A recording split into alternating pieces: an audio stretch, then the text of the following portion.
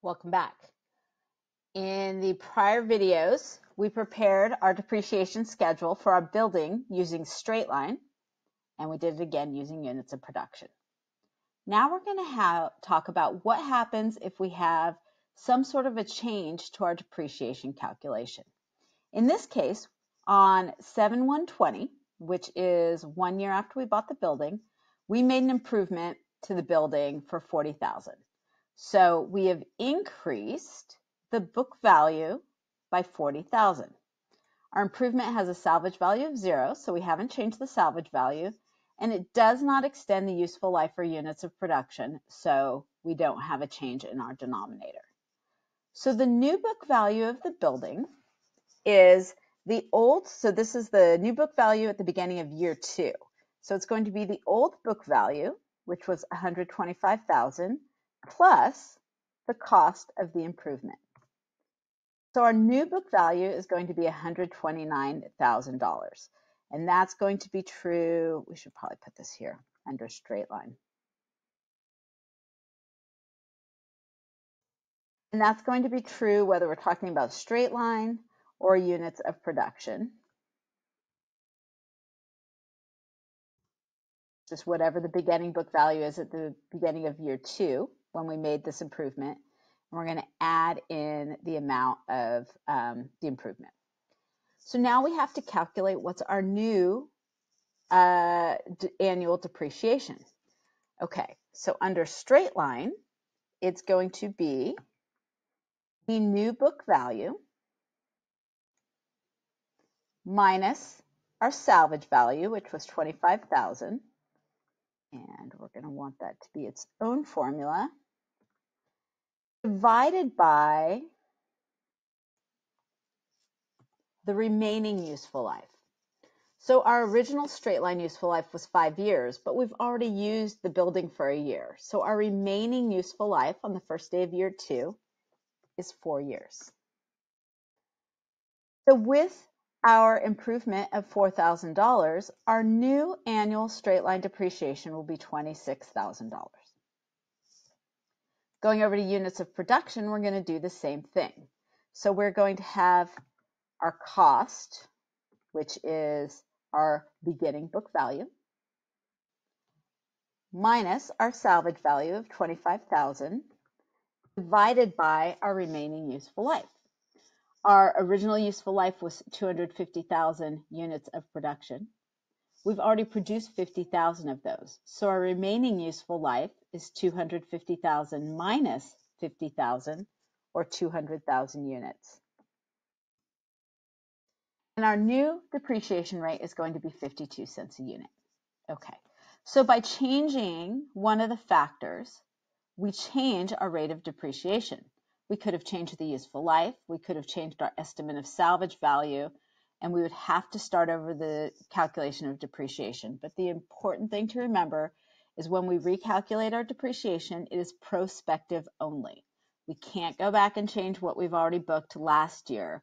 All we can do is look forward. So we have to adjust the cost to be the beginning book value.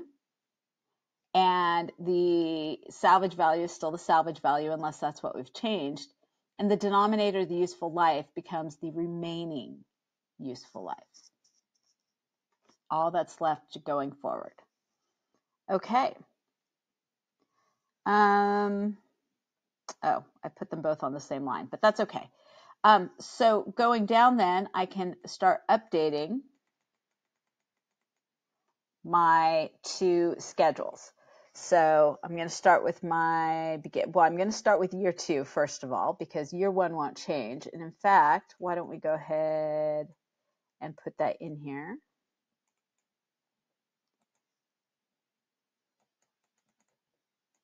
Oops.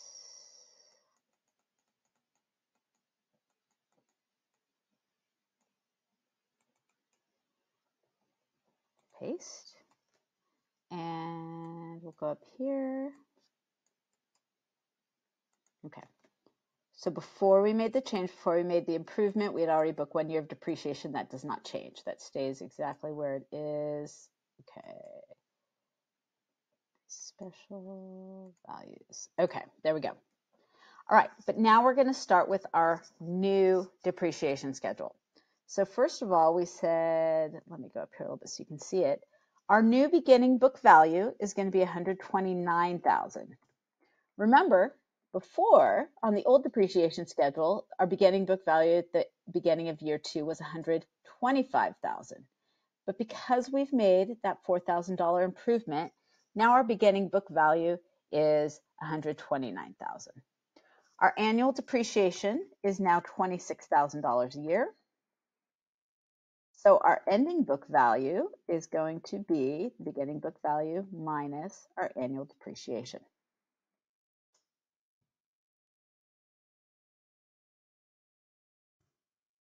All right, so our new ending book value is 103,000.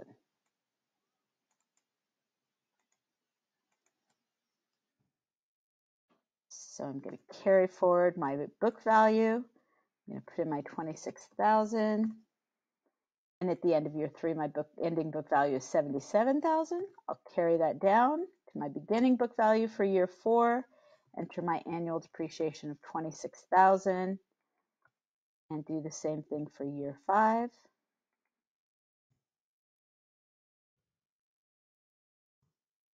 When I get to the end, my ending book value at the end of the five years is still the $25,000 salvage value. Okay, I'm going to do the same in the same video for units of production. And we are going to start off with 129,000. In Year two, we, uh, we produced 40,000 units.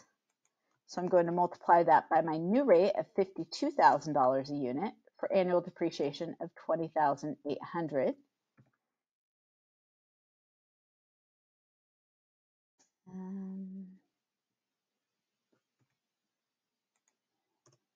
calculate my ending book value. All right, there we go. Paste. Okay. I'm going to carry down my ending book value from the end of year two. That will be my beginning book value for year three. In year three, we calculated 60, or we produced 65,000 units times our rate of 52, our new rate of 52 cents a unit. So our annual depreciation is 33,800. I'm going to carry down my book value to the beginning of year four, where we produced 45,000 units times the 52 cents a unit is $23,400 annual depreciation. Ending book value of 51,000, which becomes my beginning book value for year five. In year five, we gener- uh, we produced 50,000 units times our rate of 52 cents per unit. Annual depreciation of $26,000 and an ending book value of $25,000, which matches our salvage value.